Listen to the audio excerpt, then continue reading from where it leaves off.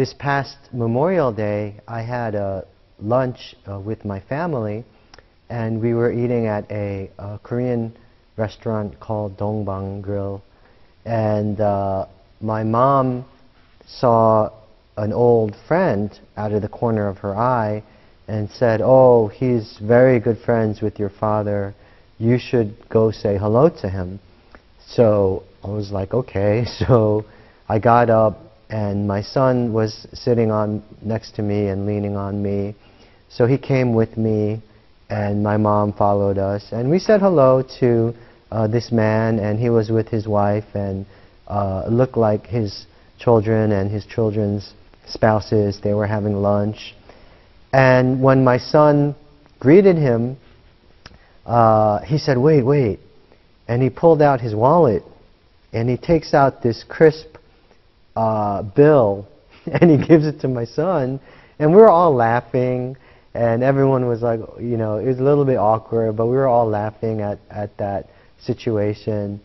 And then we get back to my table and I put away the bill. Of course, I gave it, put it back into his piggy bank at home.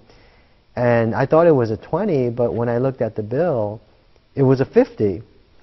And I was like, oh my goodness, this guy just gave us a $50 bill. And then when him and his family left, we greeted them on their way out. And it, it made me think, it was a funny incident, and it made me think, will people treat my children well because of me? And secondly, will people treat my grandchildren well because of me?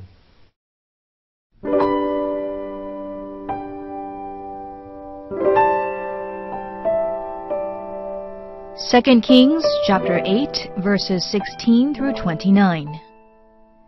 In the fifth year of Joram son of Ahab king of Israel, when Jehoshaphat was king of Judah, Jehoram son of Jehoshaphat began his reign as king of Judah. He was 32 years old when he became king, and he reigned in Jerusalem eight years.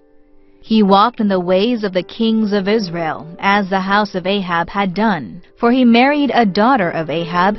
He did evil in the eyes of the Lord. Nevertheless, for the sake of his servant David, the Lord was not willing to destroy Judah. He had promised to maintain a lamp for David and his descendants forever. In the time of Jehoram, Edom rebelled against Judah and set up its own king. So Jehoram went to Zair with all his chariots. The Edomites surrounded him and his chariot commanders, but he rose up and broke through by night. His army, however, fled back home. To this day, Edom has been in rebellion against Judah. Libnah revolted at the same time. As for the other events of Jehoram's reign and all he did, are they not written in the book of the annals of the kings of Judah? Jehoram rested with his fathers and was buried with them in the city of David. And Ahaziah his son succeeded him as king. In the twelfth year of Joram son of Ahab king of Israel, Ahaziah son of Jehoram king of Judah began to reign.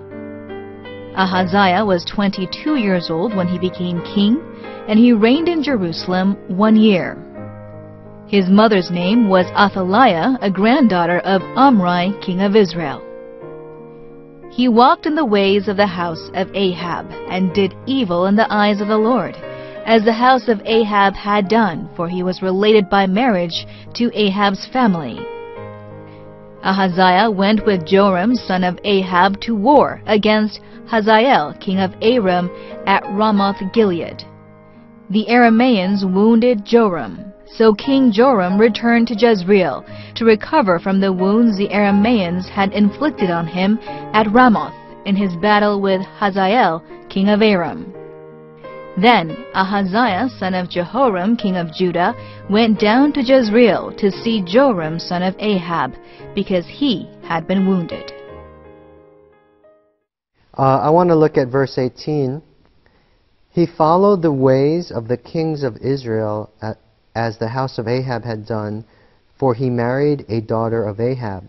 He did evil in the eyes of the Lord, Nevertheless, for the sake of his servant David, the Lord was not willing to destroy Judah. He had promised to maintain a lamp for David and his descendants forever. Uh, let me take a moment to read uh, from the Living Life devotional from page 110. It gives a very good explanation of what's going on. This passage highlights the failures of Jehoram, king of Judah. His failures are particularly significant because he is the son of Jehoshaphat, a king who walked in the ways of the Lord. He could have followed in the footsteps of his father and lead Judah back to godliness, but unfortunately he goes the other way and pursues false gods. Jehoram does much evil in the eyes of the Lord, but God withholds his wrath and shows much grace toward him. Although Judah deserves judgment, God spares them for the sake of one man, David. In the same way, though we do what is evil and deserves judgment, God spares us because of one man, Jesus Christ, the greater David. Have you ever thought about the legacy that you are going to leave for your descendants? How can you set a good example for the younger generation? You know, um, it's somewhat of a controversial subject theologically when the Bible talks about curses going down to the third and fourth generation and blessings going down and being passed down through the generations.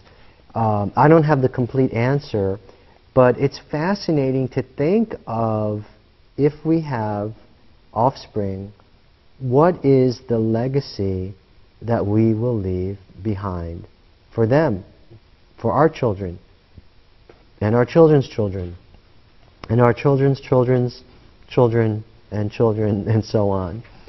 Uh, I remember growing up in the Korean immigrant church, the one question that every adult would ask me as a child was, Who is your father?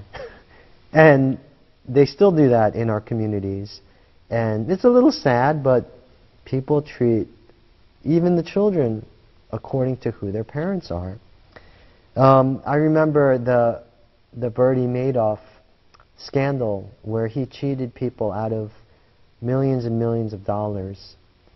And sadly, on the two year anniversary after he was arrested, his first son, Mark, hanged himself uh, in his apartment in Soho, New York City, because he couldn't live with the family shame. And then after that, the second son, Andrew, uh, his cancer relapsed, and Andrew said publicly, My cancer relapsed because of the stress and the shame that my father has brought upon me. And he died of his cancer. And it's, it's weird to see how the sins of the father, you cannot deny, the sins of the father affect the sons. And the blessings of the father uh, affect the sons as well. Uh, my major in college was history, and this past year I discovered the Smithsonian Channel, and that channel is amazing. It's like what the History Channel should have been. And uh, I, I, got really hooked on these World, World War II documentaries with that old, grainy, black and white video footage. Sometimes they, they computer enhance it to make it color. And I'm fascinated uh, watching these World War II documentaries and the evil of uh, Hitler and the Nazi regime uh, not too long ago in our history.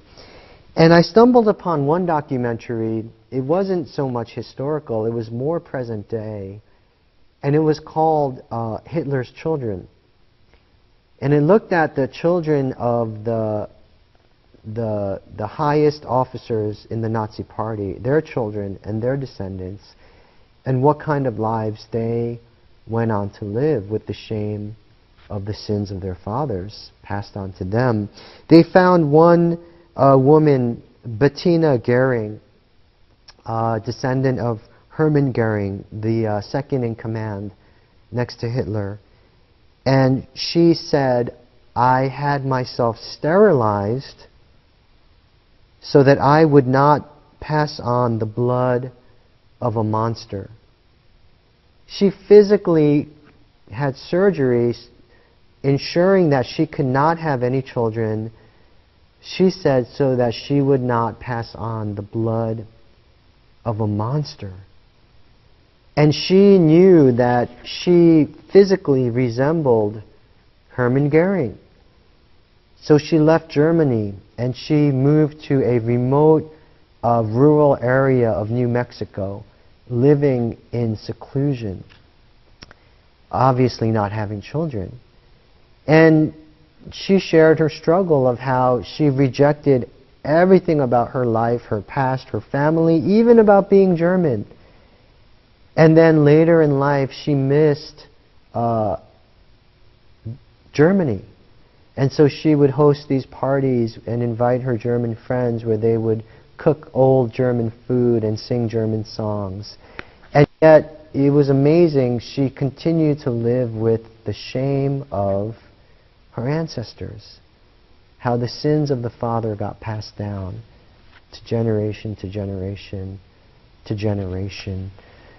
If we have children, and they have children, and they have children, we could leave behind a debt or a blessing or credit in terms of finances, in terms of reputation and leaving behind a good name or a bad name. But even more important than that is the spiritual legacy that we will leave behind for our children and our children's children.